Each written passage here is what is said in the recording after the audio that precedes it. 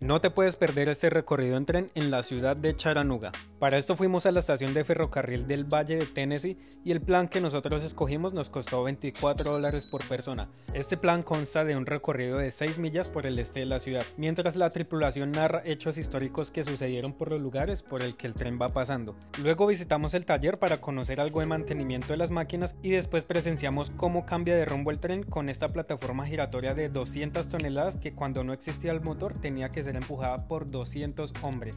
Por último visitamos la tienda de regalos para comprar algunos recuerdos de este increíble lugar.